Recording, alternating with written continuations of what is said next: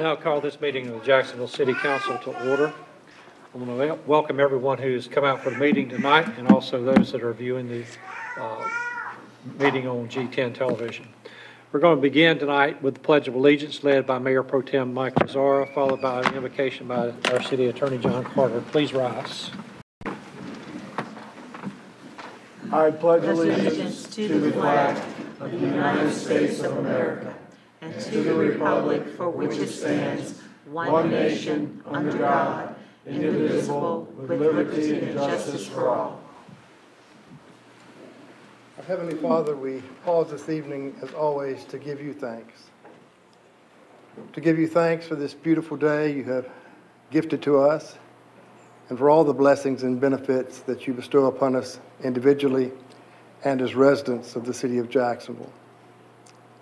Tonight, we especially give thanks for the life and the service of Oliver Hill, who passed away last week, not only for his service on the Onslow Civic Affairs Commission, but also for his passion.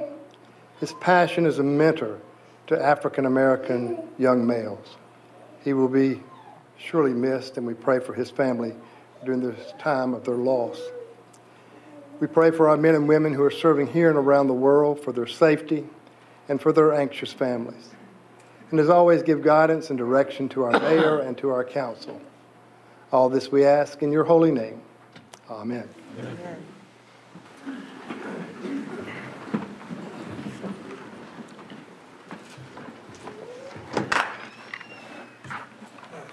Entertain a motion to adopt the agenda for tonight's meeting. So moved.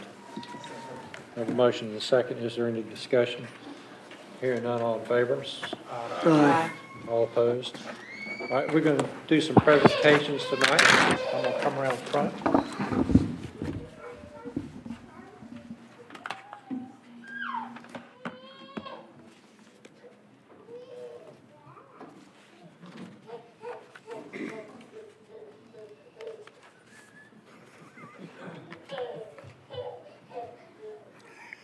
All right, we're going to uh, go to the of some life-saving awards tonight, and I would like to ask uh, Director of Public Safety, uh, Mike Mike Yaniero, to come forward, please.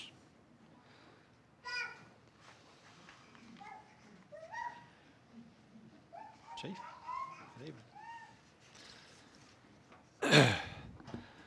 Also, we'd like to have uh, officers from the Jacksonville P- Police Department, William Cress, Cressy, Daryl Nash, Scott Tamburo, and telecommunicator David Bledgy, and Jeffrey McAllister. You'll join me up front.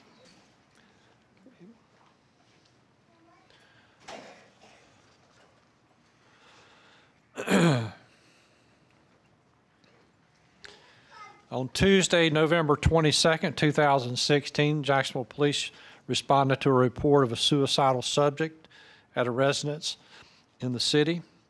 Uh, Telecommunicator David Bledgy received the call and efficient, efficiently gathered the information necessary for telecommunicator Jeffrey McAllister to quickly dispatch officers.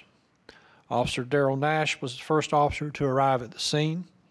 Observing the residence, Officer Nash saw a subject walking up a ladder into the attic and found the door unlocked.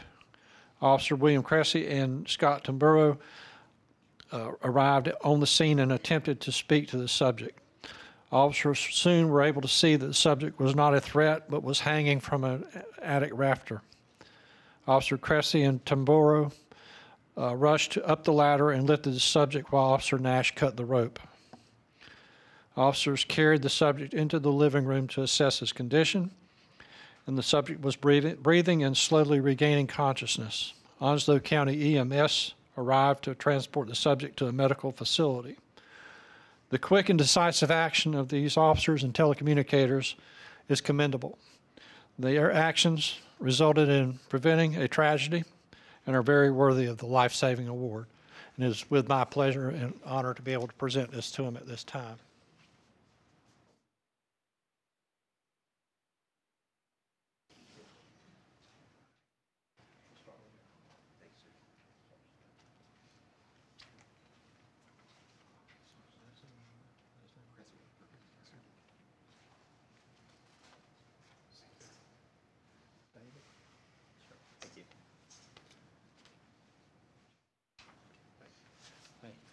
Very, very good work.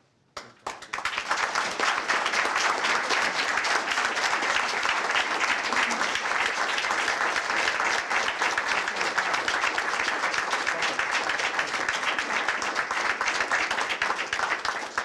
Thank All you, right, Jim. Then form two lines, we're gonna take a picture. The mayor's in front, up the middle, short guys. Good-looking guys in the front.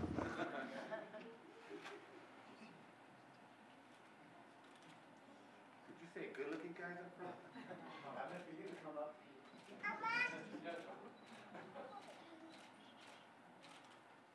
Now, we have two folks in the back, why don't y'all come on up so you can get a picture, please? Feel free to just come out here. Ma'am? Please. Ma'am? Come on up here, take your picture.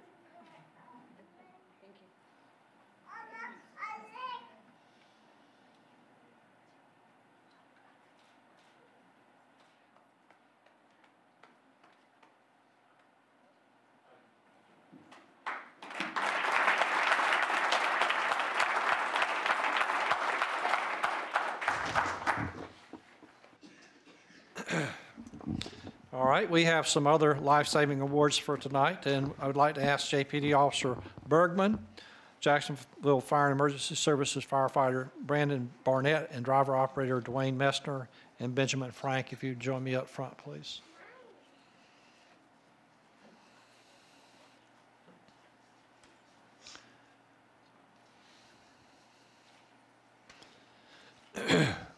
On Wednesday, November 23rd, 2016, Officer Alan Bergman responded to a medical call at a residence in the city.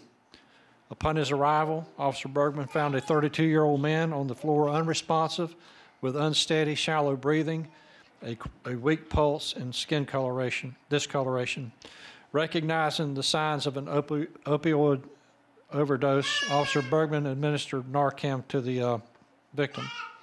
Shortly after Jacksonville Fire Emergency Services arrived on the scene, firefighter Barnett assess- assessed the patient and found the patient had a weak pulse but was not breathing. Firefighter Barnett established an airway and driver operator Benjamin Frank ventilated the victim with a bag valve mask. Firefighter Barnett prepared a second dose of Narcan, which was administered by Officer Bergman. At that time, the victim regained consciousness and admitted to the first responders that he had snorted a large amount of heroin. Driver operator Messner assisted with preparing the patient for transport by Onslow County EMS for medical treatment. The quick and decisive action of these first responders resulted in rev- reviving the victim. Their actions resulted in the preventing of a tragedy and are worthy of the life-saving award.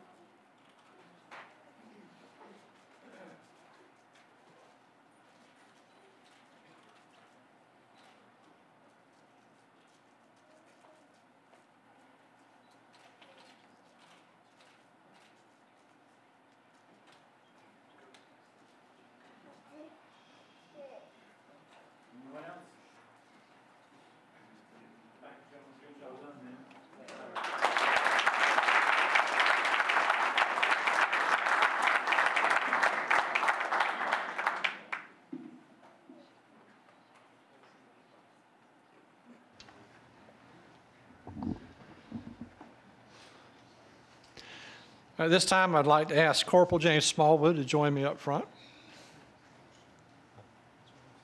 Oh, your wife is here. I always see her. I- I've never met her. Come, come on up and help us out here.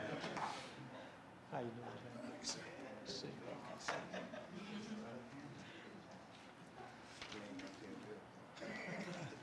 doing. Well, thank you for coming out tonight. Corporal James L. Smallwood III of the Jacksonville Police Department recently completed the Traffic Enforcement and Investigation Certificate Program at the North Carolina Justice Academy in Salemburg. I take it? Uh, This program recognizes the achievement of law enforcement professionals who have dedicated themselves to making the highways safer for our citizens. Corporal Smallwood has exceeded the uh, five 500-hour of traffic enforcement and investigation training required to successfully complete the program. James, thank you. Thank you for all your hard work. You're a good officer.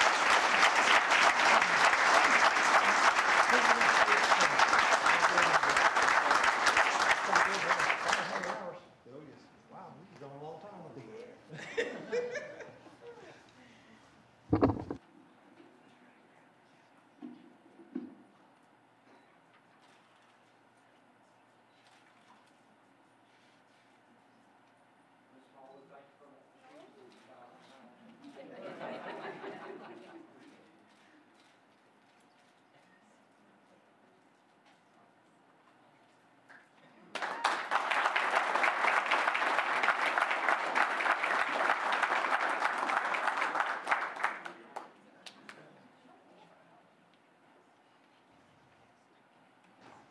I didn't see Mike Ciccarelli come in. Did, did he come in and I not see him?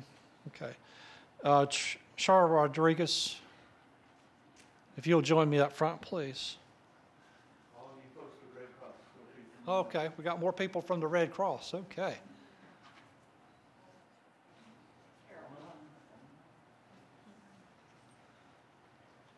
Might as well come on up and be on TV, huh? As well, yes.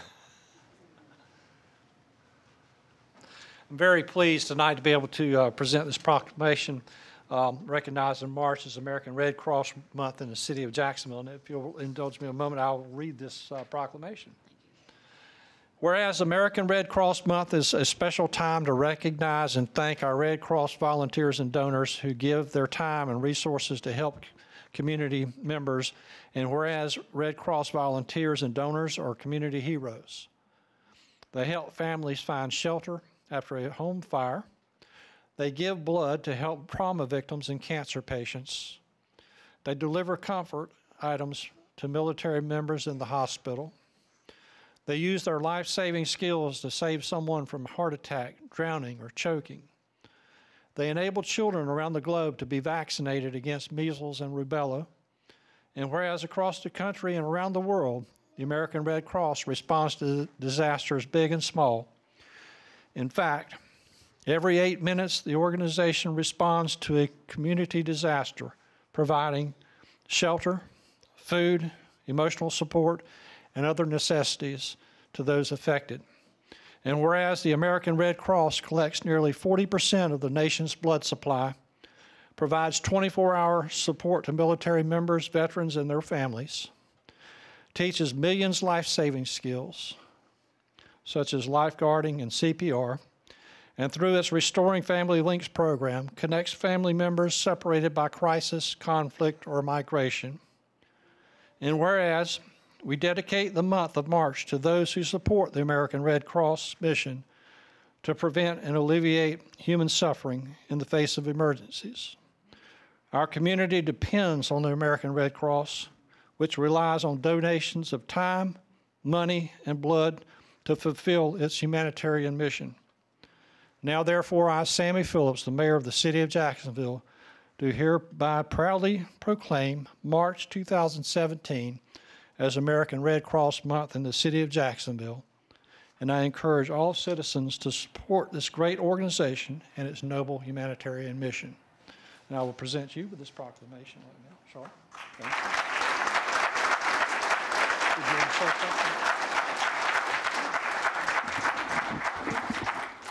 Thank you. Mayor and uh, council members. Thank you so much.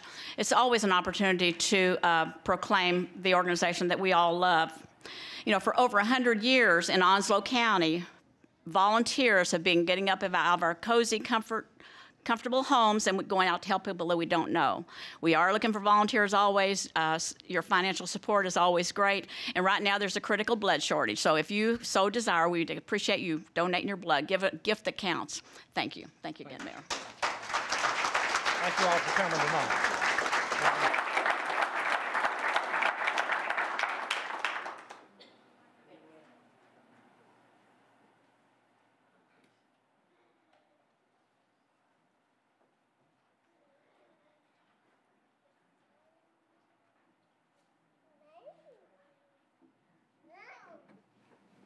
Lot of you folks came here tonight for the uh, presentations and all, so we're going to take a brief pause in our meeting uh, before we take up uh, the rest of the business for the evening and uh, give you a chance to, to go ahead and leave if you wish.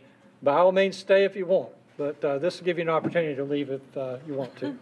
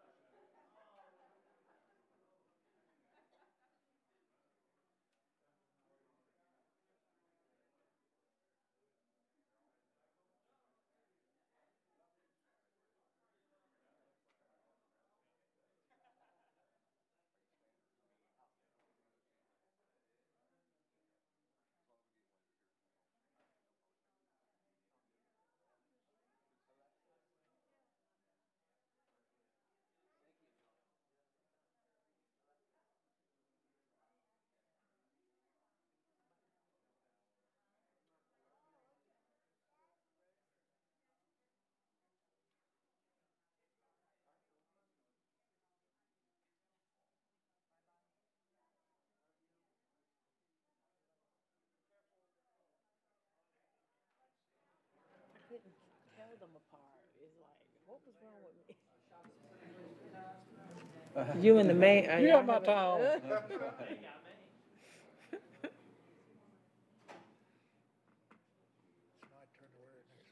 Okay, we have a um, section of public comment, um, but no one has signed up for it tonight, but I'll offer, as I usually do, to anyone who may have come in after the sheet was taken up, if you wish to uh, make some type of comment.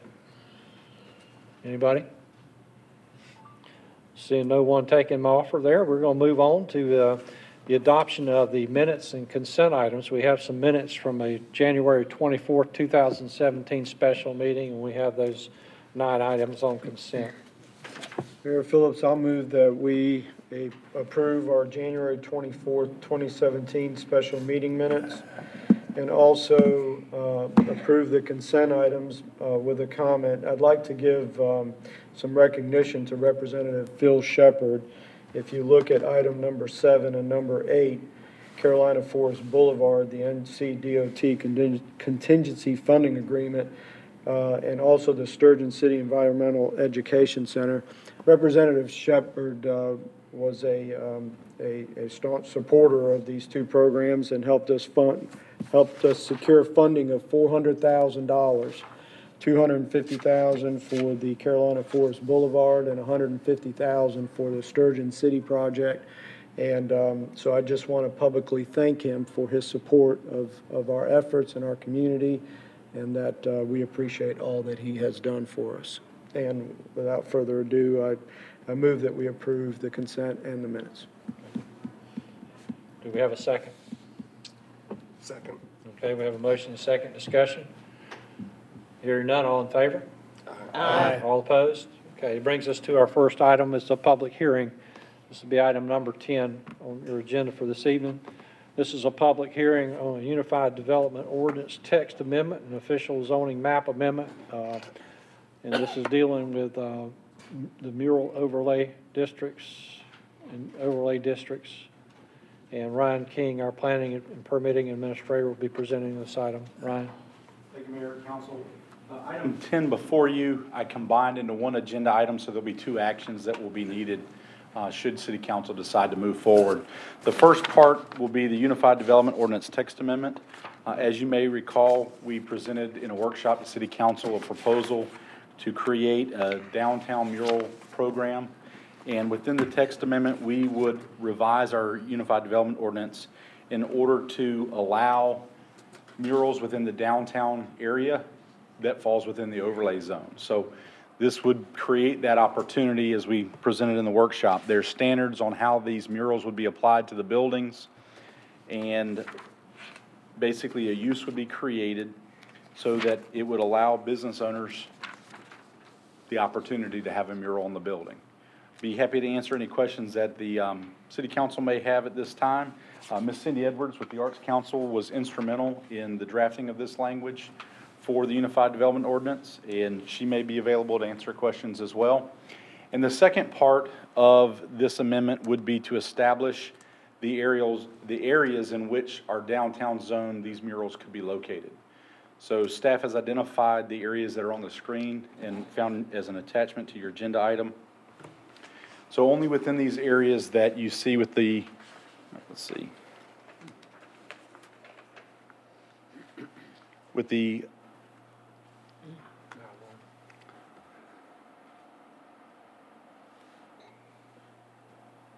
the areas here, oops, Tell us where they're at. and then down near City Hall, and then Sturgeon City. So those are the only locations where these murals could be placed, as long as they meet all the other criteria. Be happy to answer any questions that the mayor and council may have at this time. Council, any questions of Mr. King? Just a quick one. I, I, for- I think it's the first time I realized that Sturgeon City's in that area. What was, what was the thought process down there? I'm, I'm not aware of any buildings off the top of my head. Well, We other thought- than some- Oh, oh, the, uh, the tanks. So the we whole- thought that the yeah, tanks and/or the bio tower may The present an tanks. opportunity. Sure, sure, thank you. Either. Any other questions of time? Thank you. Just a reminder, two actions for, Okay, for this thank you. amendment. Thank you. Sir. At This time, we're going to recess the regular council meeting, open up a public hearing that's required in this matter. Is there anyone present who wishes to speak to this matter? If so, please indicate by raising your hand. And Please state your name and address for the clerk, please. Cindy Edwards, my home address is 210 Linwood Drive, Jacksonville, 28546. Uh, I just want to say thank you to the city council for um, going through this process with us and reviewing the options and being willing to entertain this. Um, The downtown area is a focus that's one of the city's primary goals right now, and for redevelopment to happen there, there have to be some aesthetic things that are part of that equation. So you've heard from me on the subject before, I won't belabor it, but just wanted to say thank you for giving this the attention that it needs so that we can make steps forward downtown. Thank you. Thanks, Cindy. Anyone else? With that, I'll res- res- close the uh, public hearing in this matter and reconvene the regular council meeting. Counselor, you're being asked to um, con- uh, consider the UDO text amendment and also uh, the official zoning map that's- that demarcates those areas, uh, those zones. Move to approve the UDO text amendment as found in attachment A and the uh, amendment to the official zoning map establishing the overlay zone as exhibited in attachment B. Second. I have a motion and a second. Is there any uh, discussion? No discussion. I'll call the vote. All those in favor? Aye. All those opposed? Okay, unanimous. We'll go to agenda item number 11. This is a public hearing on the Unified Development Ordinance Text Amendment. This is regarding uh, off-street parking, loading, and circulation for, and uh, automated teller machines. And uh, Ryan, uh, Ryan King will be presenting this item. Thank you, Mayor and Council. Because we haven't presented this to city council before tonight, I'll go into a little bit more depth and detail with this one as I did the previous item. This is an issue that has recently surfaced through um, some conversations that staff has had with a local land developer about the Unified Development Ordinance and how it treats accessory uses such as ATMs, vending machines, um, things such as that. So staff looked at our code. We also looked at Fayetteville, the city of Fayetteville's code, and Currituck County. And we looked at those two specifically because they were drafted by Clarion Associates, the same firm that drafted our Unified Development Ordinance. And we pulled some information from those codes that we thought would be useful to be added to our code and help address some of the problems that we were seeing. We also worked closely with Chris, Mr. Chris Bailey from Bailey Associates, and we also got Ms. Patty Markle involved, who's the Vice President of ATMs at Marine Federal Credit Union. So they have both seen this proposed text amendment. Um, They both have endorsed the changes that were made. They believe it will make it better for them. So one of the things that we would do with this proposal, if adopted, that you can find in attachment A, is we will create an ownership and operator exemption for things such as ATMs and vending machines. Right now, one of the accessory use standards says that you can have a principal use and you can have an accessory, but it's got to be owned and operated by the same people that run the primary use, the principal use. This would allow an exemption for things such as Coke machines or Pepsi machines, ATM machines, things of that nature. Redbox is real popular these days.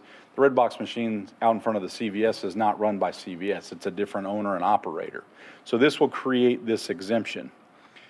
Currently, in the use table of accessory uses, our use table defines ATMs, but it's defined as a walk-up. We're just going to create a standard that's ATMs. It doesn't matter whether it's a drive-up or whether it's a walk-up. And we're going to revise the, the ATM definition as such.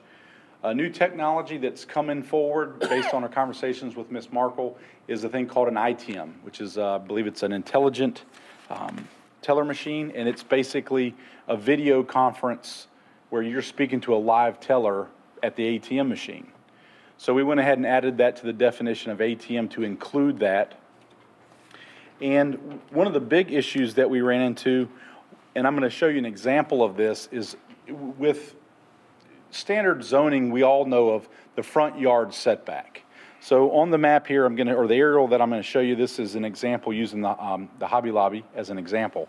If the Hobby Lobby has a 35-foot setback, which is what the corridor commercial zone has, basically it says anything built within this area is not allowed. So right off the bat, it could be no closer than that line. In the old way of zoning, you could then plop an ATM down right here in this corner. Well, our UDO doesn't allow that. The UDO also has a provision that we're proposing to eliminate, which is the front setback and the front yard. The front yard is defined as anything in front of the building. So that means an ATM would have to be placed somewhere behind that front line. We're proposing to eliminate that standard, which means now they can place an ATM somewhere out here in the front. If it's a walk-up, there's no stacking. What I mean by stacking is, is cars that are backing up. If it's a drive-up ATM for automobiles, we're worried about cars that may back up and cause a blockage for the people that are just trying to go through the parking lot or go from one site to the other. What's interesting is the UDO already had established a three-car stacking for an ATM machine, but it didn't allow a drive-through ATM machine. So we're going to fix all that with this proposed amendment. So we believe, based on the items that we have prepared, that you can find in attachment A, will address the concerns that were raised by, um, by Mr. Bailey and items that, upon looking at that information and looking at other codes, we believe would be beneficial to make the changes to our ordinance. And uh, Mr. Chris Bailey is here tonight. In case you have any questions, I'm going to put him on the spot, although that's why he's here. Um, Be happy to answer any questions that the mayor and council may have about this unified text amendment. Council, any questions, Ron? Yes, sir. I don't have any questions, I have a comment. I just want to thank um, Richard and Ryan. You know, we often hear about how undeveloper-friendly our community is, and I think this is a testament that we're not that, that we are developer-friendly, and, that, you know, with the new UDO, as complex as it is, and, and, and situations come up, and we get a chance to review them and, and and look at it a little deeper, and as you all did, and, and you corrected a problem that arose, and I think you did it in a professional way, and I just want to thank you for doing that. Because again, you looked at it objectively, and, and it made sense, and you, and you made it work out. And that makes us a developer-friendly community, and I just wanted to point that out, so thank you. One question. Yes, sir. So the 35 feet, explain that again, what, what impact you had this has again? Okay, so an accessory use under historical zoning codes, you have a setback. Right. So if that setback is at 35 feet, which the corridor commercial zone has, other zoning districts may have greater or, or smaller setbacks, nothing can be built on the street side of that line. The UDO also referenced the front yard as well as the front setback. Well, the yard area is defined as anything between the street and the front wall of this building, which pushed all accessory uses behind that front wall. We are now going to go back to kind of the, the old school way of thinking, which is not the front yard, but the front setback. As long as it's behind that 35-foot setback line, Days. the setback stays. Now, with the corridor commercial zone, a 35-foot is the standard that staff applies on an application base project. An applicant has the opportunity to submit a type 2 site plan and come to city council, and that line could be reduced to as little as 10 feet, but that takes city council action. Any other questions? Thank you, Ryan. All right, thank you. This time we'll recess the regular council meeting, open up a public hearing in this matter that's required. And uh, I would uh, ask anyone that's present that wishes to speak on this matter, if you indicate by raising your hand. I don't see anyone, so we'll go ahead and close the public hearing. Council, you're being asked to consider the UDO, UDO text amendment. Mr. Mayor, I, I move that we approve the UDO text amendment found in attachment A regarding uh, accessory uses. Second. Motion and second, any discussion? Hearing none, all in favor signify by saying aye. Aye. All opposed, motion carries. That brings us to agenda item number 12. This is a public hearing um, on the Unified Development Ordinance Text Amendment. This is an um, amendment to Articles 3.8, Plan Development Districts, and Article 4.1, Use of Table for Mobile Home Parks and Subdivisions. And Ry- uh, Ryan King will be presenting this item. Ryan? Thank you, Mayor, Council. Uh, This next and third and final Unified Development Text Amendment that you're seeing tonight was actually submitted on behalf of Holiday City MHC LLC. Mr. Michael Douglas is here on behalf of that organization, and his agent, Mr. Barton Lanier, is here as well. So if there's any questions that come up, um, they are here to speak on behalf of this as well. Over the past several months, uh, city staff, as in the previous item, city staff has worked closely with Mr. Lanier and Mr. Douglas to come up with some changes that we are recommending for a PDR text amendment. And what this would do is this would add as a permitted use within the PDR district, mobile home parks and subdivisions. And we've only had two other PDRs. This will be, or the- your next agenda item, if this is adopted, would be our third request. And Basically, what it boils down to is this allows an applicant to have a tailor-made zoning district.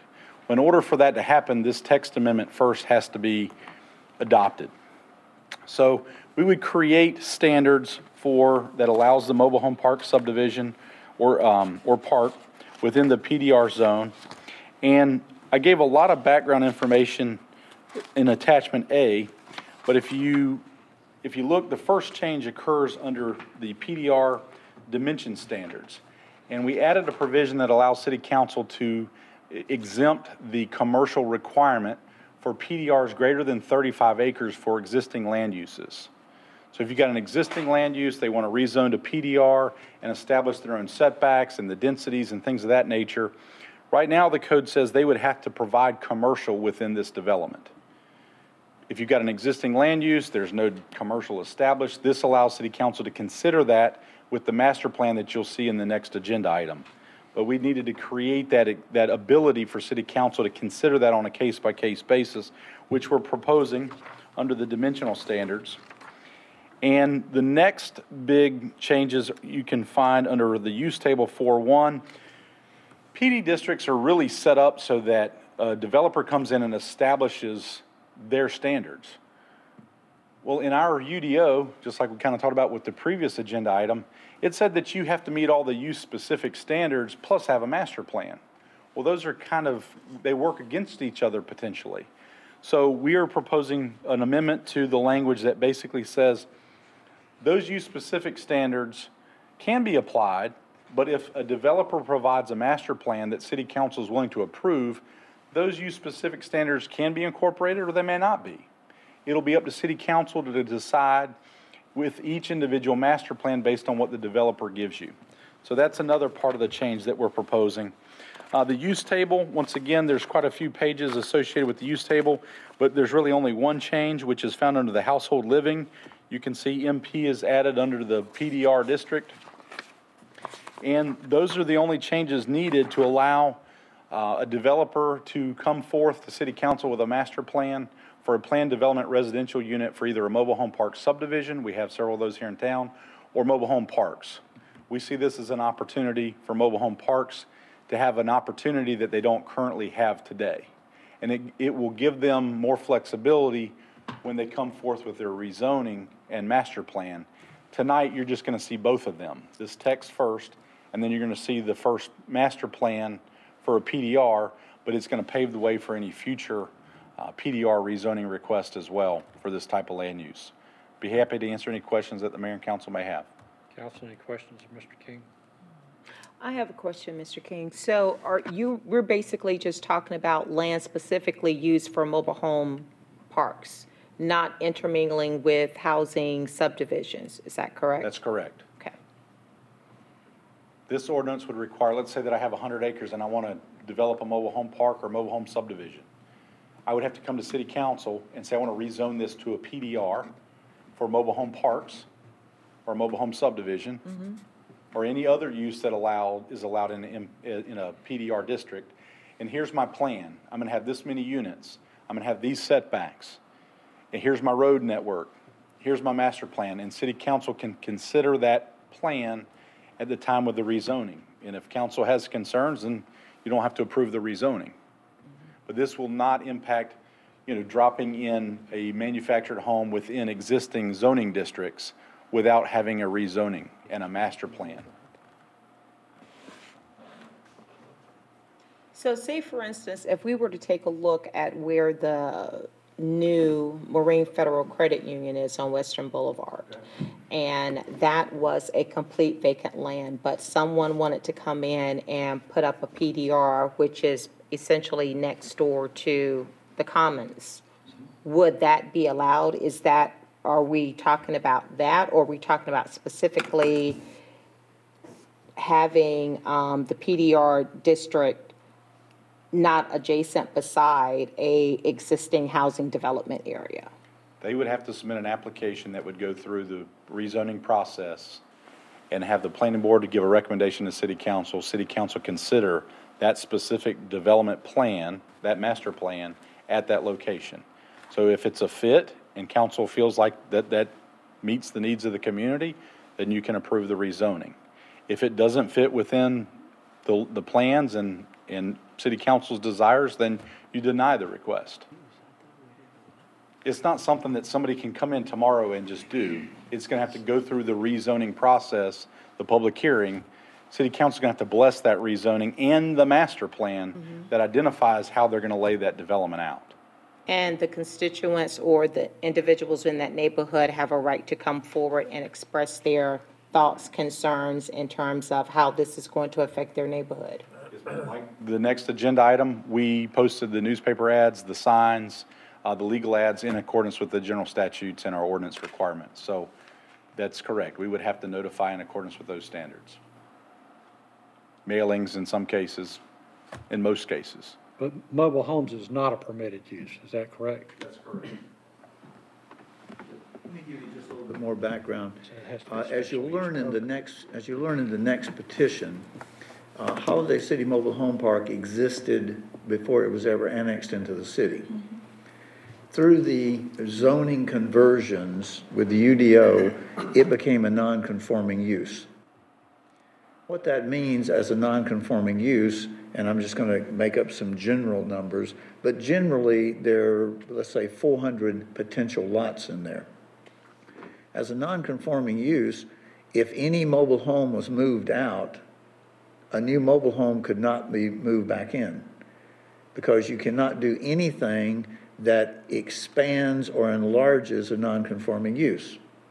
So let's say that someone, uh, the owner of the park, wanted to replace three units that were 20 years old. By taking them out, they have made it more conforming, and they could not get permits to put three units back in. Not that they were going from 400 units to 410, but every time a unit came out, they simply lost a unit. The, as you'll hear in a minute on the next part of the, or the next petition, we have worked with Holiday City for probably four years to try to figure out how do we recognize the fact that they are providing a good housing product in a neighborhood where they have been accepted, and we need to find a way to keep them modernized. So we, first of all, looked at setting up a uh, mobile home district. And we said, well, that, that's, that's fine if you're dealing with a completely vacant piece of property. Because then you can lay it all out, you know, twenty-foot wide lot, sixty-five foot deep, whatever you want, just like any other subdivision. But because this area is in existence, and it has what I'll call, if you pardon the expression, oddities, some lots are only 65 feet deep, some are other depths. You've got streets and so forth that are in private ownership. You've got different. The only way that we could find to create them as a conforming use so that they can continue and improve their subdivision is to change the text so that you can at least apply for a planned development residential dash mobile home. Our current UDO introduced the concept of planned developments. They're not automatic. It's a rezoning process. We have planned development commercial. We have planned development residential. We have planned development industrial. We did not have a category planned development mobile home. So the first thing you are asked to do is to modify the text so that it allows someone to apply. And that's what this first does. This does not, this first action does not do anything except establish the process that someone can ask for or go through.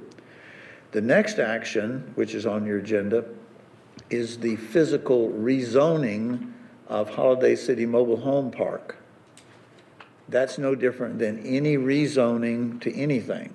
So again, uh, I thought it was a good example that you used up at the, uh, on Western Boulevard at the Marine Federal. If the land behind Marine Federal is to be developed, and it's not going to be developed as it's currently zoned, they have to go through the normal rezoning process. So that's really what this is all about, is trying to modify the code so that Holiday City has the ability to ask so that they can remove the non-conforming status and improve their area. Ryan, do you agree or disagree with what I said? When you say improve, Richard, are you, John, Well, I, I think, again, back to Ms. Washington, when you change a code, you just don't change it, as you know clearer than I do, for Holiday Mobile Home City. It's citywide. broad, wide, yeah.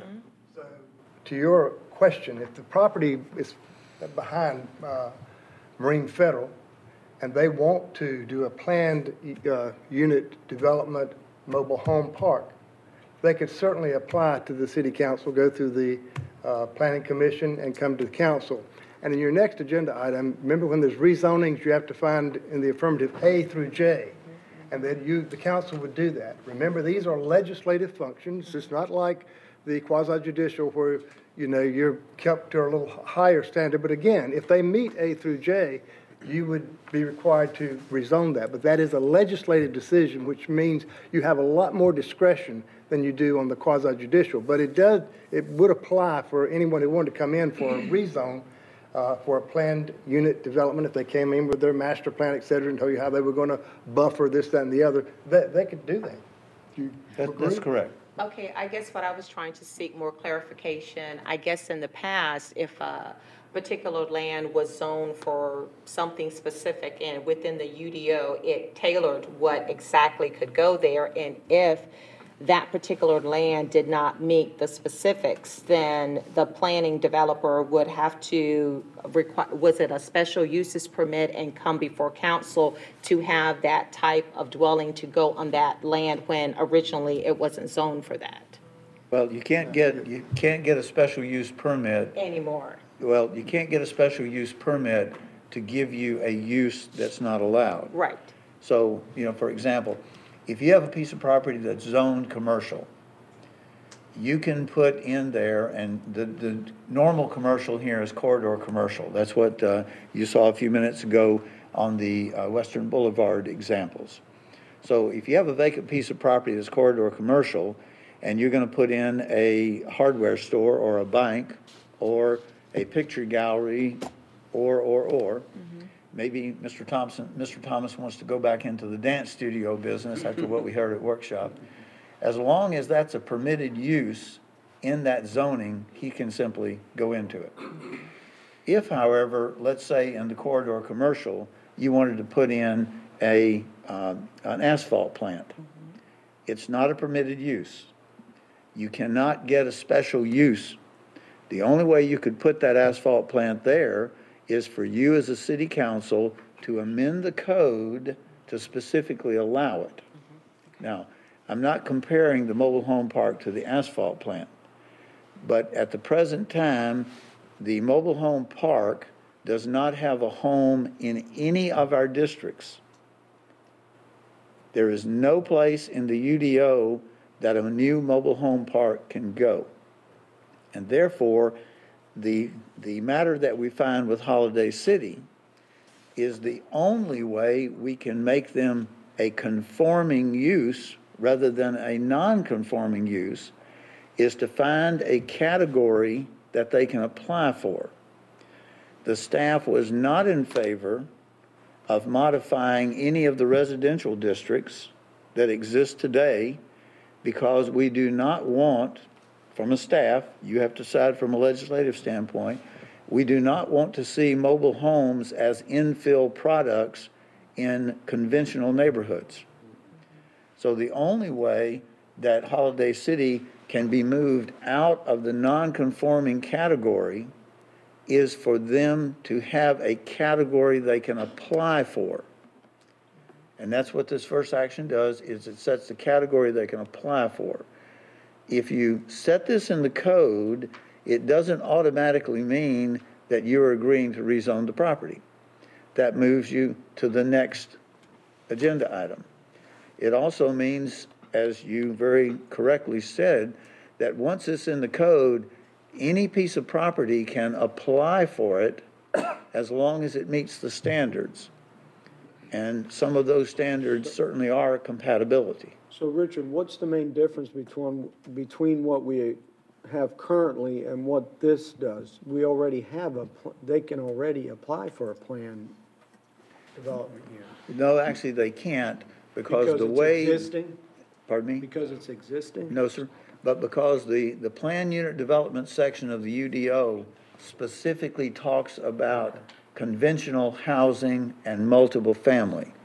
It specifically does not mention mobile homes. So this would allow them to bring forward a plan development for review and negotiation, basically. Correct.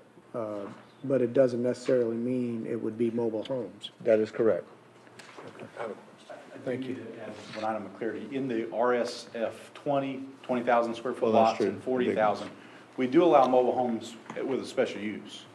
But that's a single home on a single lot. Because by law, we have to allow mobile homes within our jurisdiction, so As a special use, that's correct. that's right. But this would be a different type of development than a single home on a single lot. Thank you. Mr. Willingham? I understand what the goal is. I, just off what I've heard, just feel that this approach is a little broad. And you mentioned changing uh, a district or creating a district for this area. Could you revisit that and tell me more why that is not recommended? If we had a zone for um, mobile homes and applied it to this area? Well, without being overly blunt, when we went through the UDO, you as a council specifically told us you did not want mobile home parks, you did not want mobile home subdivisions. Pretty clear. And knowing that that's what you told us, we are trying to find a way to take an existing mobile home park and create standards that are tighter. The, the plan unit development standards are much tighter than the conventional standards would be for a mobile home subdivision or mobile home park. And remember the difference, mobile home subdivision is where the individual owns the lot. A mobile home park is where they either rent the lot and put their own unit on it, or they rent both the lot and the unit from the person who owns the whole park. But that's the reason why the UDO does not have any subdivisions, I'm sorry, any mobile home subdivisions or parks in there is because that's what you told us that you did not want. I absolutely understand that, and I was an advocate of that. But you're going to end up with one. If you had a district, and this was the district, you're not having them all over the city and in other zones. It would just be this one on this occasion. Yes, Or does the- the developer have an opportunity to duplicate this somewhere else throughout the city? Not if you Any- just had this zone here. If you approve the planned development residential mobile home, any person can apply. The advantage of having this for Holiday City is they're allowed to write their own standards. You know, that doesn't mean you have to accept the standards. In a conventional mobile home subdivision or park, what you find is that every lot has to be 20 feet wide by 85 feet deep. It says the roads have to be this, the sidewalks have to be that. If we had that district today, and you rezoned this park to a conventional zoning district, it would still be non-conforming. And the reason why it'd be non-conforming is because, if you pardon the way I'm gonna say it, and Mike, I hope I don't offend you, but this park is developed. It doesn't have lot lines, it's got mobile homes that are arranged as they are. So the only way, I mean, Barton Lanier is to be given a lot of credit. He and I wrestled for days and weeks on trying to figure, how do you put something that's already developed into a mold that is as rigid as conventional zoning? If you, if you look at a conventional zoning district, and let's just take a single-family district, you know that it says the seven thousand square feet. Now, I'm not talking about mobile homes, I'm just giving you an example. Seven thousand square feet, front yard setback of twenty-five feet, side yard setback of ten feet, rear yard setback of thirty feet. Okay, if you're dealing with vacant property, that's great.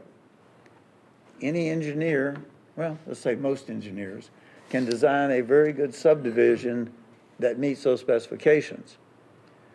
But when you're dealing with this park that already exists, and in some places, the lots, you know, can't meet those standards because the roads are not laid out perfectly aligned, and some of the blocks, if you pardon the expression, are kind of oval, while other blocks are rectangular. The only way that Barton and I could figure out how you even begin to make this thing work is to allow a PUD. Why a PUD? Because by the very nature of planned development, rezoning is designed to give the property owner the maximum flexibility to design what that person needs on that piece of property. I will say to you again tonight, changing this rezoning and saying, no, we want it to be a mobile home subdivision or a mobile home park, it will not work for Holiday City. And if I can add, either step would be a rezoning, whether we create, because we did wrestle with that. We create a mobile home district or we create a PD. It's both gonna be a legislative rezoning action. But one of the things, and I hope I don't open a can of worms with this, but one of the things I've heard on the radio is Greenville, North Carolina is dealing with these small homes. Basically, I don't know if they're park models, but really small homes. Somebody may want to develop a small home community in Jacksonville. A PDR is the way that they're gonna be able to do it. But it's gonna take city council approving that rezoning and changing all those dimensional standards and to get that density where they want it to be, or not where they want it to be, but where it's gonna be with small homes on very small lots. It's a tool in the toolbox for them to be able to use that. Just like with this here, as Dr. Woodruff stated. All those roads are in place at Holiday City. To try to meet all the dimensional standards in a conventional zoning district, it's just difficult to do. And then the way that, you know, it is rotated in and out on a regular basis, the homes aren't the same width, they're not the same lengths. You know, Market's change. So this would give them, you know, more flexibility. But either way would be a rezoning if we create a mobile home park district and add that to the code, and then they go through the rezoning. Or like we're doing tonight, change it to a PDR possibility, and then them come forth with a rezoning. It's really the same, six one, half a dozen the other. So we just felt this was the most, and we've got several mobile home communities in, that are in the city that may be faced with the same situation. And at least this gives them a little bit, an additional tool that they don't have today with the standard dimensional standards, or the same dimensional standards. The one, the one advantage of this, on this piece of property versus others, most of the other neighborhoods where we have mobile homes, they're on individual lots. There is a minimum acreage in the PD. And it's required, I mean, this PD is being written where they cannot be sold off in lots. This is a rental park arrangement. So if you're, if you have any concern that in some of the other areas, which I won't mention, but we've discussed, that this could be used, it'd be awfully difficult. Because those are individually owned properties and a planned unit development has a minimum size because it's supposed to be a planned development, not an individual lot development. It's a ten acre minimum. Okay. Any other questions? Thank you, Ryan. This time, we're going to recess the regular council meeting, open required public hearing on this matter. Is there anyone present who wishes to speak to this? If so, raise your hand. I See no one. Close the public hearing. Counselor, you're being asked to uh, approve the uh, UDO text amendment. Mayor Phillips, I'll make the motion to approve the UDO text amendment found in attachment A. The amendment advances the public interest, creating more development opportunities and reducing nonconformities throughout the city. Second. I have a motion and a second. Is there any other discussion? All those in favor signify by saying aye. Aye. All opposed?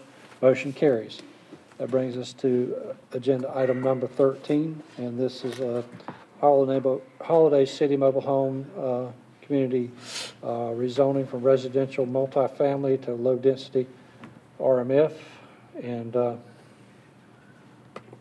Jeremy, uh, Jeremy Smith is going to be presenting this item.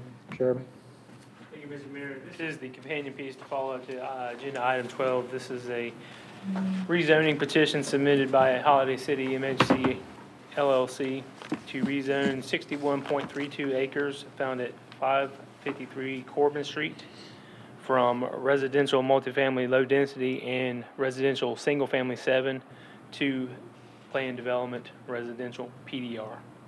You'll notice the location on the vicinity map before you, Holiday City, what you know as Holiday City Mobile Home Park. This is aerial photography of the area. You'll notice um, the abutting properties, and I'll go over their zoning. To the north is uh, Northeast Creek Park, City Park is uh, zoned RMF LD. Uh, Across Corbin Street is another section of the park zoned RSF 7. Residential multifamily, high density, uh, is across Corbin Street. To the south is undeveloped tract of zoned CC, a church zoned RSF 7, and then more undeveloped property to the east zoned RSF 7. The purple hashed area is the city's flight path overlay. This property does fall within that. However, you will notice that with their terms and conditions found in attachment F, they are proposing 491 lots at 61 acres. That's uh, approximately a little over eight units per acre, falling in the medium density classification and does not trigger any additional standards in the flight path overlay. But we wanted to let you know that half of the property, approximately half of the property was located in that flight path overlay. The CAMA Land Use Plan identifies this as a split of medium-density residential and low-density residential in the rear. The at a little over eight units per acre, it falls within the MDR, therefore the CAMA Land Use supports the rezoning. This is what the property along with the area would look uh, as a large spot of PDR zoning. Before you on the screen is the master plan as was submitted along with the terms and conditions found in attachment F in your agenda item. And I'll spend the next few slides going over the- the highlights of the terms and conditions. Uh, Again, they are proposing 491 units. And These would be subject to their terms and conditions that they have submitted, that staff has reviewed and found what we believe acceptable. The principal uses would be manufactured homes, mobile homes, uh, single wide, double wide, or triple wide. And the common accessory uses found with a home, uh, be decks, the community building, and the offices that are located in the park, along with swimming pools, uh, the approximate uh, 4.6 acres of open space that they have for recreational use of the folks that live there, the maintenance buildings, the mail kiosks, etc. Setbacks they have proposed are the minimum, the street, from the street is the MBL of 10 feet from any travel lane or right-of-way, a minimum sideline distance of 18 feet from another manufactured home, and a minimum rear distance from another manufactured home of 8 feet. Parking is at a ratio of one and a half unit spaces per manufactured home. Uh, At 491, uh, the parking spaces would require 737, however, they're currently providing 909 189 spaces. Buffers to the north, east, and southern sides are remaining the same in their natural state. Um, I believe the northern, that borders uh, Northeast Creeks Park also has a Duke Energy transmission line going there that provides additional buffering with the park uh, traffic. However, the western side along Corbin Street, they are proposing a Class A buffer, uh, not at the traditional 30-foot wide, but at 15 fi- 15 feet wide. Um, Again, if you've reviewed the attachment F and have any questions with their remaining um, terms and conditions um, or the master plan, Mr. Mike Douglas, representing the owner, uh, Mr. Bartlett, his surveyors here, um, with staff would be happy to answer any questions. Um, With that being said, the Planning Advisory Board and staff have recommended approval with findings of fact A through J being found in the affirmative, and that this rezoning would support, that would um, provide logical development for the community.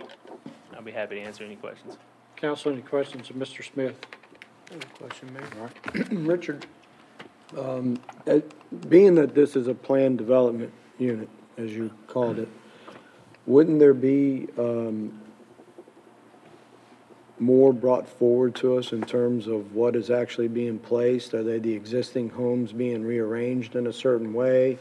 What obligates uh, uh, this developer to complete this project? I know that when we looked at a planned development unit off of, I guess it was off of Western Extension, it was pretty comprehensive.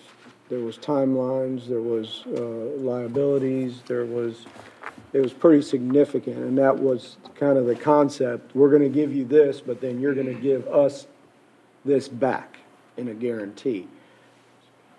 How's this related? How do we know that this is gonna be executed as presented tonight?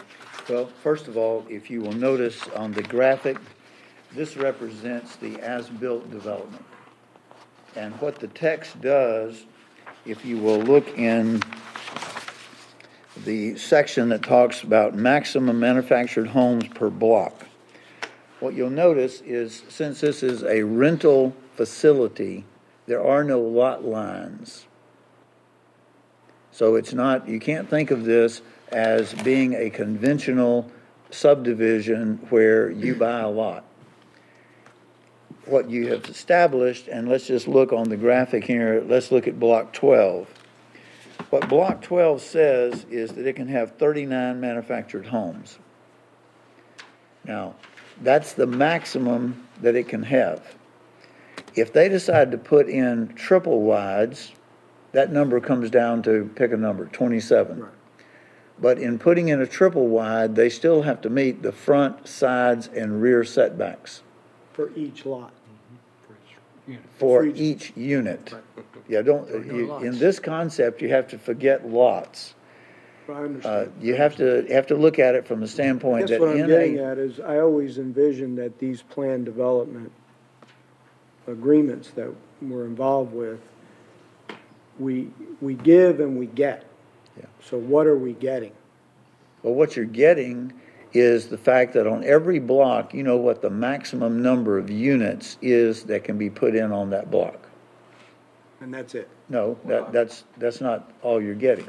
First thing you're getting is a maximum number for each block. And that's important because it allows mobile homes to be moved in or out, but it sets a cap. So for example, you could have on, on that block, thirty-nine put in.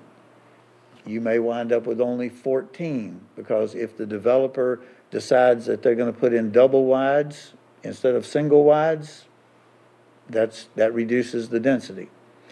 The second thing that you're getting from a public standpoint is the fact that you are getting the ability to replace aging units that are occupied with new units without the, the rezoning, as we Right, said but Wasn't before. the intent of the nonconformity to do away with that?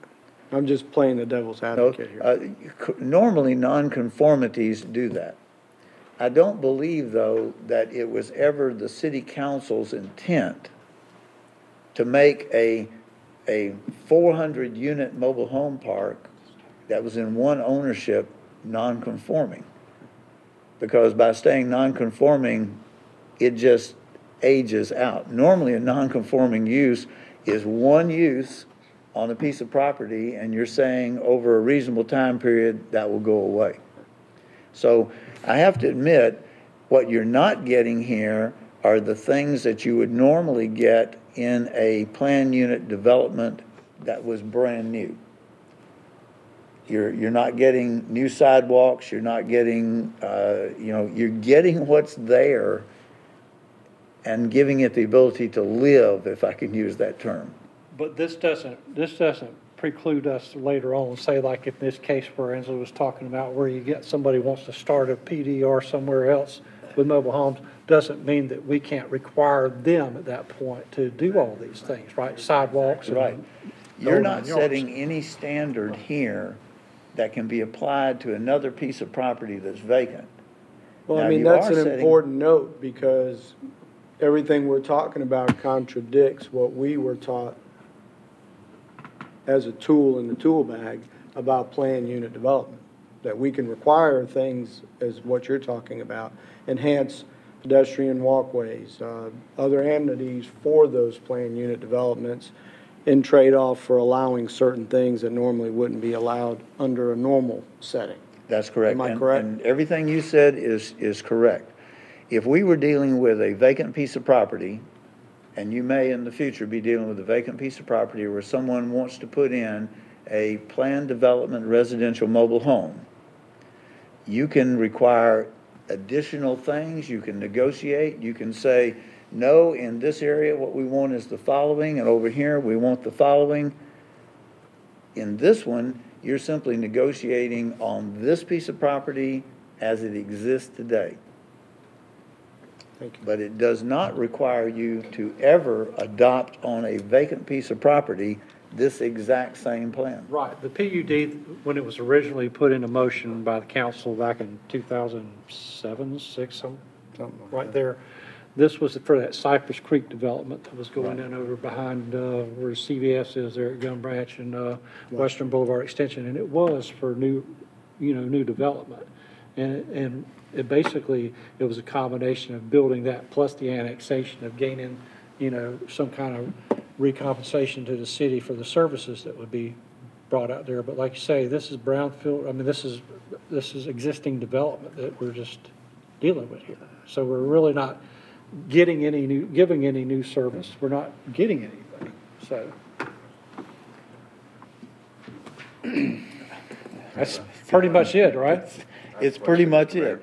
We're, it is what it is, and we're trying to find a way to, to help it improve. I guess that's the, that's the best testimony I can give to you. It's a stop. The- One of the, uh, the- the, the items that came up um, during the planning board was the age of the units. Uh, I'm assuming, uh, you know, I think we were okay with, uh, with the planning board was okay with the 2,000 year or newer. And of course, we were there had, to, you can't just stop at 200, two thou- the year 2000, because time's going to continue on. I see you've, you've inserted 25, and I'm assuming staff's okay with the 25? That's right, and we incorporated that change that the planning board recommended in there, that no unit in there could be any older than the year two thousand. And once we get past the year two thousand twenty-five, it'll, it'll start carrying up, so two thousand twenty-six, it can't be older than two thousand one, and it'll just keep proceeding like that, it can't be within that twenty-five year time span, and twenty-five. Yeah, I guess my question then is, is, um, we're at the year 2026, and they've got a t- a 2000, uh, will he then automatically go in and replace all of the 2000s? I understand what you're saying, I- that was not discussed, I- but at the mm-hmm. time that they want to replace it, it would have to be with a newer unit. Okay, so, so you could leave older ones in there? Could. You just cannot replace with anything? Right now, yes, sir. But they still have to meet minimum housing standards, right? Yes. And that- and that's what I was, when I asked, is could we, instead of s- just arbitrarily picking a year, or, or maybe it wasn't arbitrary, maybe there were some, some modifications in the year 2000, is there any way of tying it to some sort of a building code, that, uh, updates that, uh, the, that the state building code would be adopted, uh, with changes to the, to the, uh, manufactured home industry? Well, let me give you, a let me give you a suggestion, and, and you may want to ask the petitioner to come and, and guide in this. In a plan unit development, you're negotiating, obviously, the terms. One of the things that we don't want is for this part to go backwards. So I believe, the city attorney would, would need to chime in on this. I believe you could put in there that any unit, any replacement unit that is brought into the park cannot be older than five years from the day the permit is asked. Because remember, to move these units in and out, they still have to get building permits. I would, I would, I would rather see us say any unit brought in has to meet the current manufactured homes if there's, if there is such a thing in the state building code, and I don't know that there is. There are standards I would, I would think there would be, but I'm, I'm just saying that, to me, that would make more sense, that any replacements would have to meet that standard. Can I, can I approach? Please do. address? Uh, for those of you that I didn't meet, my name is Mike Douglas, and I work for the, for Essentia Real Estate Holdings Company. That's the company that bought Holiday City about four years ago. Um, and, and first I'd like to say, um, Jeremy, Ryan, Richard, and Barden, uh, have worked, as Richard indicated, over se- Barton and I have been working on it for several years to come up with a plan, this master plan that we're proposing, with the sole intent of, the way Richard summed it up, with the sole intent of being able to improve an existing development that's already in the city.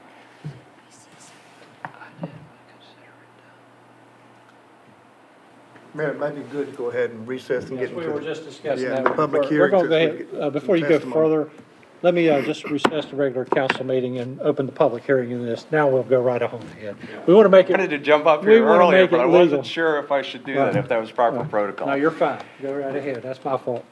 Uh, So anyway, I want to thank uh, the planning department and Richard and Barton all for their work because they, uh, they, I think, have come up with a master plan that I think will guarantee the city that Holiday City will remain a viable source of affordable housing in the city uh, and will allow us to do what we do with our properties, which is constantly improve and upgrade them. And how we constantly improve and upgrade is by upgrading the, the manufactured housing, by upgrading the units. So before we ran into the snag about the nonconformity, we moved 10 units in. And I don't know if any of you have been to the property or not uh, in the last three years. But we bought brand-new units in 2014, 10 brand-new units. And these are high-quality products. They're not trailers. They are manufactured homes that are built to HUD standards. And, which means that they are actually inspected by HUD and approved by HUD. So to answer your question about the um, um, habitability and/or standards in the mobile home industry, HUD is that authority. In 19, um, I think we touched on this in the uh, Planning Advisory Board meeting that in 1978, HUD took over oversight of all manufactured housing development. Uh, Not developments, but building, manufacturing. And so uh, the units that we buy, uh, either new or used, either way, are approved by HUD and meet this, the basic national standards for safety under, under those guidelines. So certainly that language, if you're comfortable with it, could be added, but what we talked about at the, at the uh, advisory board meeting uh, was, as opposed to making it a year, our standard today in all of our properties is we will not move a home in, either our purchase or an owner-occupied home. We want to prove it to move into our property uh, unless it's 2000 or newer. That's our, our year today. But what we talked about was changing the language to 25 years or newer. We, or in other words, we wouldn't move anything in, we wouldn't allow anything to move into the property that was 25 year, older than 25 years. Um, and if that, you know, satisfies, if that meets with your satisfaction, I mean, we can certainly add that to the language of this, this, uh, request or this plan. A- Absolutely. Mr. Carter? List of the number of units you have, approximately 400 out there? Uh, today we have, uh, th- roughly 360. And of those units, how many does your corporation own and how many are privately owned? Um, right now, we've got hundred and, roughly hundred and thirty that we own. Uh, so uh, what, two, uh, another hundred, or two hundred and thirty that are privately owned. Okay. Uh, The other question, the HUD regulates the, each year.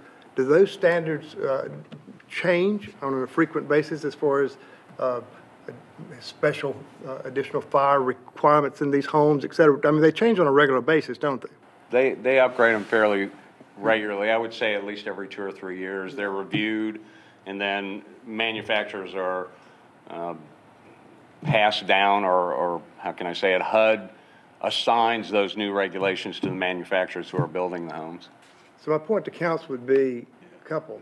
Number one, they don't even own the majority of the homes there, so there's going to be individuals who are going to want, to upgrade. Number two, that uh, to put up to today's HUD standards, well, yesterday's mobile home may not meet, that. It's got to be something that, as Richard said, if they have to come in and get a permit, which I presume is all correct, that is something your, your staff can administer in a fair and equitable manner. Uh, and that would be my point. Mike, let me ask you this, uh, if I may. I have to be quite honest with you, I've been supportive, I'm not supportive of a 25-year-old mobile home moving in. Is there, is there a, uh, is there a newer number? I mean, uh, I'm certainly not suggesting that mobile homes are not quality. But I do know in single-family developments, 25 years, things can be pretty worn out, just in conventional stick-built development. Is there a number such as 10 years that you would be willing to commit to? I mean, the, the HUD standards are going to force a 25-year-old or a 22-year-old mobile home is not going to meet the HUD, the HUD standards. Would you agree with that? Uh, no, I wouldn't agree with that. It, it will meet HUD standards. Won't meet the current. Yeah, Won't meet the current HUD standards. It may not meet, if you bring a twenty-four-year-old unit in, it may be four, five, six, seven HUD standards that it's, that it lags behind. If, if- my, my argument on this would be, if we're gonna permit a, a home to be built infill or anywhere else in town, it has to meet the current state building codes. Correct. Now, Maybe, maybe saying that it has to meet the current HUD standards may be a little strict in this thing, but I certainly, I don't think, I, I wanna recommend that we allow a twenty-four-year-old unit, twenty-four mm-hmm. years and eleven months be brought in, that, that may be several upgrades in HUD standards behind. Yeah, that's the point, that's, that's the point I'm asking is, you know, if we, it's one thing, obviously, when it was built, it met standards. correct.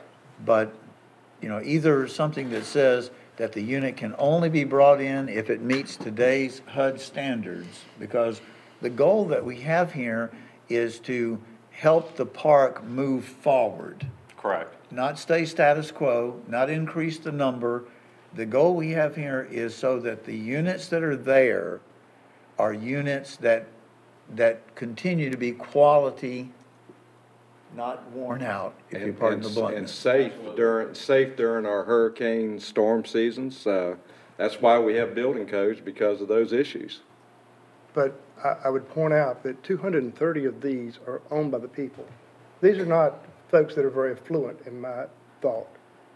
You are, may, by boxing them into today's HUD standard, these folks may never be able to move that mobile home out. They'll have to live there in a a rat hole, if you will, because they can never get to that standard. It's a balancing act here. Oh, I'll, I'll, I'll- I'll buy into that argument. I- And that's all I I'll- would I'll say. agree a little bit on that, but I think twenty-five is a little, a little too, too old, in my- in my, my opinion, in my personal opinion. And I have a question in regards to the privately owned, which um, he was talking about. How, how does the privately owned units, uh, how are they affected in this plan?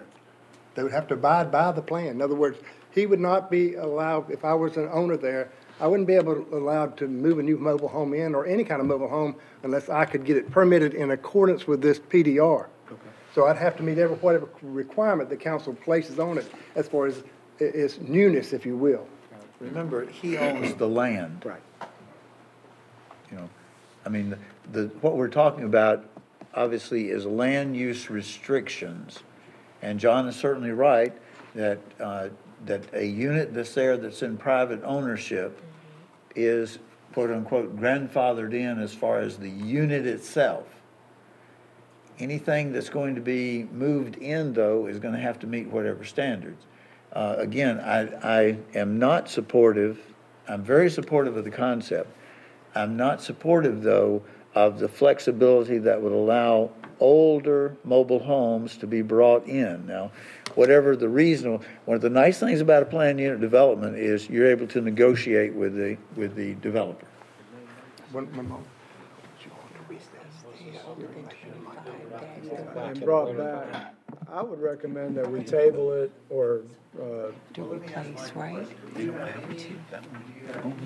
Compromise you're willing to offer the council on this position. Yeah, but first, uh, let me uh, address a couple of things that have been said. Um, um, Mr. Warden, your point was actually uh, correct to some degree that, uh, yes, HUD does change its standards on a fairly regular basis, three, five years, the, you know, new standards will come out. The majority of those standards that they're changing today are not relative to safety, they're, they're relative to energy efficiency. I mean, that's the, the primary reason for changes and upgrades in HUD's code and in their uh, manufacturing criteria for mobile homes today. Safe- So- Safety and comfort are, are almost uh, twins of each other, I mean, to some extent. To some extent, but the safety issue, the habitability is the most important. I think it's the most critical one, actually. Most especially, I mean, in essence, you know, I mean, think about it in this context. So you're right, a 25-year-old home, no one's going to build on a new development or on a site a 25-year-old home. But if a 25-year-old home is sold, it's sold and it's habitable, and unless it's inspected and there's issues found within that home that would create a safety issue, older, non-efficient windows are not considered uh, eliminating factors for that home to be sold and lived in. Council, let But me that's ask not you what we're talking about Maybe here. the best thing for us to do. We're talking about replacement.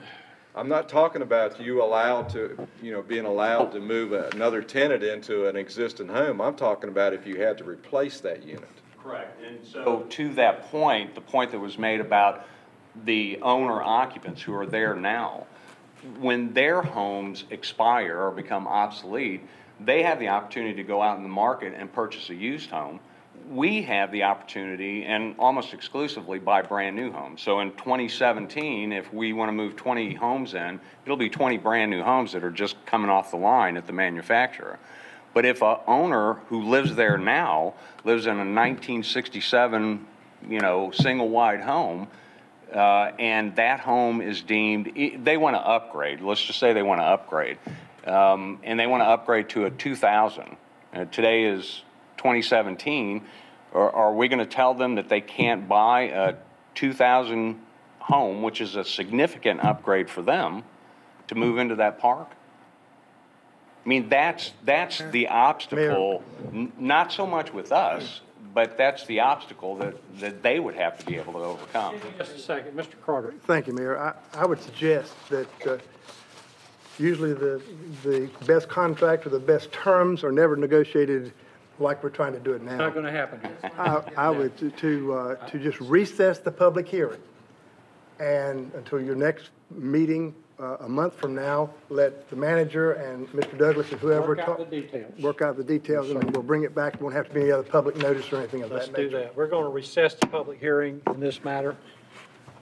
Uh, Did you have a question? I'm sorry. Oh, I just, no, that's fine. We- I'll talk, I'll say it when I'll you. unrecess it. No, that's fine, that's fine. I'll say it when we go back.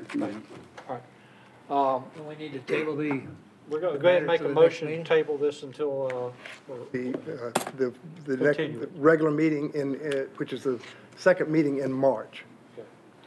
that's my motion. is that sufficient amount of time to get details worked out on this? Yes, sir. It'll either be worked out or it won't. Good enough. Is that, uh, did, did you have some comment? No. Okay. We have a motion, we have a second comment. No, I just, well, no, I'll talk to you. We would ask if, Let's get a vote on, unless you. All those in favor? Aye. All opposed? Now, Dr. Wood. if there are any other items that you'd like for us to negotiate during this period of, uh, of it being tabled, please let us know in the next several days. Yes, sir. Thank you. That sounds like a, that sounds like a fair uh, request. Basically, that's All what right, you're saying, Right? I mean, so if we'll, it's- we'll if it get back happened together on this and, and try to figure this thing out. We got it halfway done, right? Or half, half of what they wanted. All right, so now we come to our section of, uh, reports for the evening, and, uh, we'll start with, uh, Mr. Willingham. No report. Mr. Bittner. Just a comment about last night's joint meeting with the city and the county. Hats off to those who arranged the meeting, the mayors and managers. It's the first meeting we've had with the county in I don't know how many years.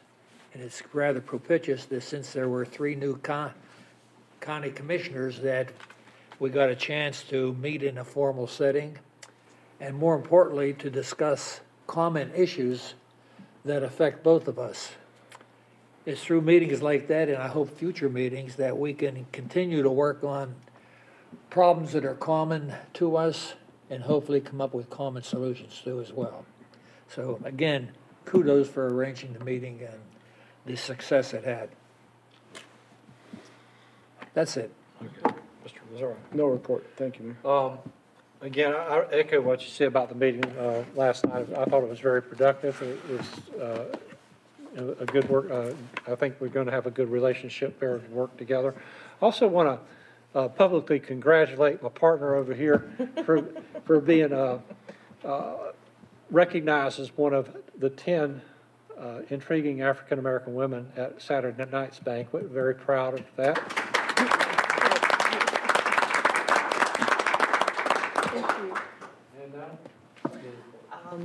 Uh, My comment is that um, last night, well, Saturday night occasion could not have hap- happened without one of our young, um, one of our heroes who has now crossed over and gone on to be with the Lord. So I really, truly, indeed miss my friend Oliver Hill and all of the wonderful things that he has done for Jacksonville and Onslow County. So um, just keep his family in prayers. Indeed. Uh, No report, thank you. Proud to be here, Mr. Mayor. Thank you. I'm proud to have you here. Dr. Woodruff. Mr. Mayor, members of council, oh. I know that you're aware of this, but I'd like to make the public aware. Reginald Goodson will be retiring the 28th day of February, meaning next week. He has served the city long and well for 12 years as the Development Services Director. Although I haven't had the privilege of working with Reggie for those entire years, I can say unequivocally that the leadership that he has given helped adopt the UDO. It also has helped with quality development throughout Western Boulevard and throughout the city. He has directed the planning, building, codes, and CD. If you look at the progress that Lily and her folks have made by tearing down now over 100 residential structures, Reggie's hand was in that. If you look at the improvements that we've had in commercial and residential development and new subdivisions, Reggie had a hand in that. A lot of things, you know, as we all move on in our careers, a lot of people don't realize the impact that an individual has. He will be missed. And I would like to publicly commend him. On Friday of this week, uh, the staff will be taking him out to lunch. I believe that's at Logan's at noon. And if any of you would like to join, feel free to. We tried to book Lazzara's, but the problem is they only seat 4,000 at Lazzara's and we expect more. But again, I do want to publicly thank Reggie. He will be retiring and moving back to his home in the Raleigh area. As always, I do thank you, Mayor, and you members of the City Council for your leadership and what you do for this community. Thank you very much. Mr. Carter, No report, Mayor, thank you. Can I have a motion to adjourn? So moved. Second. All in favor? Aye. Opposed? Not even going to ask.